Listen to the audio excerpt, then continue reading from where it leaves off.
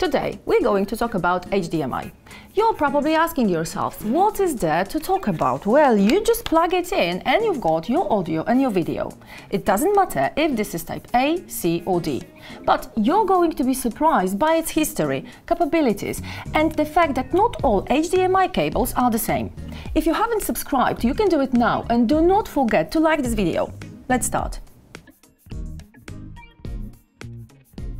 The first version of high-definition multimedia interface was released in 2002, almost 20 years ago. It was developed by seven different companies for the efficient transmission of digital HD video and digital multi-channel audio over a single cable.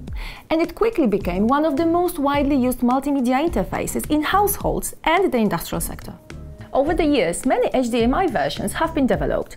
Today, there are more than six HDMI standards, from 1.0 to 2.1, which are divided into the first and second generation. The development of this type of cable was a natural response to the changing capabilities, parameters and of course functionalities of devices used for recording, reproducing and displaying digital content.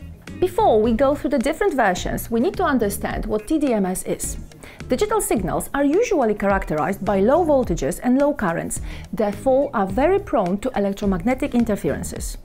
Well, to reduce it as much as possible, Silicon Image, one of the founders of HDMI, created the transition minimized differential signaling. The TMDS is made of two parts, a physical connectivity part and a software algorithm that codes and decodes the information it uses. This reduces the EMI and allows clock recovery even in long distances.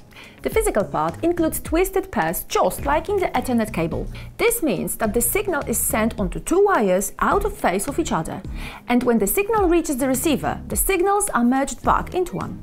The first standard of HDMI offered very limited parameters compared to current standards and didn't support many features. The only difference between 1.1 and 1.0 was the implementation of the DVD audio format, while other parameters stayed unchanged. The DVD audio format is capable of sampling up to 192 kHz, compared to only 44.1 kHz on a CD standard and is useful for creating multi-channel surround media. The next two standards, HDMI 1.2 and 1.2a, didn't bring a great change in resolution, signal bandwidth or color depth either. The significant change was the addition of Super Audio CD support for Sony and Philips audio media. HDMI 1.3 standard has significantly improved the quality of digital signal transmission. In addition to the significant improvement in terms of parameters, support for deep color extended color gamut, Dolby True HD, DTS HD Master Audio, as well as AV Sync synchronization for audio and video has been added. The HDMI 1.4 and its AV updates have enabled another technological leap in data transmission and support for the 4K resolution.